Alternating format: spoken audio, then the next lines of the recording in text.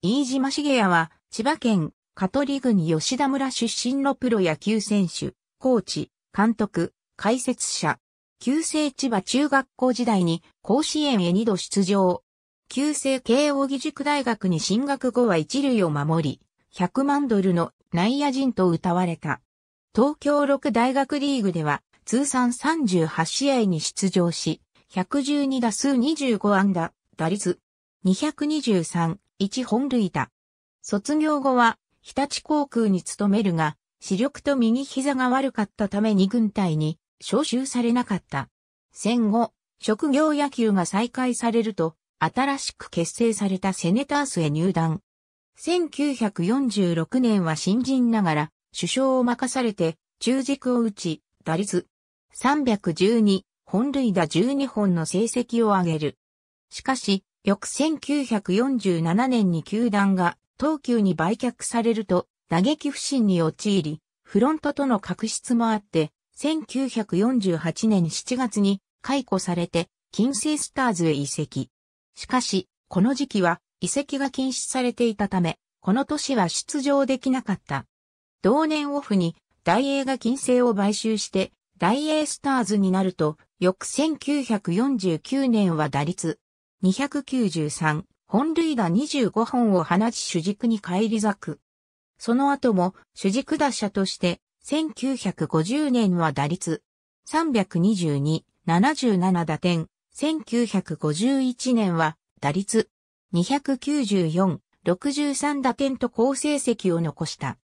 1951年10月5日の対、阪急戦では1回表に満塁ホームラン、7回表に満塁ホームランと3ランホームランの1イニングに、本塁打の計3本の本塁打を放ち、1試合に満塁本塁打、1試合11打点、1イニング7打点の日本プロ野球記録を打ち立てた。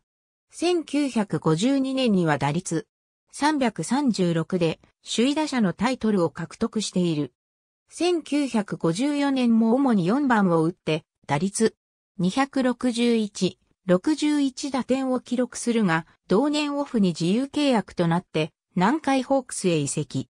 1955年は近鉄から加入した杉山公平とのレギュラー争いに敗れて、73試合の出場で打率180に終わり、同年限りで現役を引退した。引退後は、日本短波放送、プロ野球ナイトゲーム中継、文化放送、フジテレビ、日本放送、ラジオ関東で解説者として活動。1967年に一軍打撃コーチとして、古巣、東映に復帰し、ガツに向かって打てという名言で、大杉勝夫をホームラン打者として大成させたことで知られる。1968年からは二軍監督を務めたが、同年シーズン途中で休養した大下博監督に代わり後半からは監督代理を務めた。二軍監督に戻った1969年限りで退団。1970年8月9日に胃がんのため死去。51歳没調子に波があったが、打ち出したら止まらなかった。失策の少ない三塁守備も安定感があった。性格は天才肌で気難しく、わがままと評された。亡くなる前日の8月8日に、飯島は後楽園球場のスタンドで、グラウンドにいた当時巨人監督の川上哲司と会話をしたという話がある。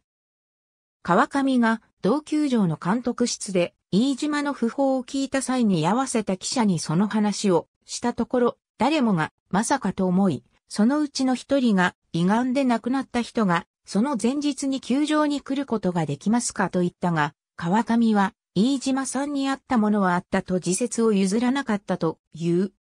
これについて、同じくその場に居合わせた近藤結乃は著作の中で、川上は嘘をつく人ではないし、第一こんなことで嘘をついても仕方ないので、飯島の最後の執念がそうさせたとしか思えないと綴っている。ありがとうございます。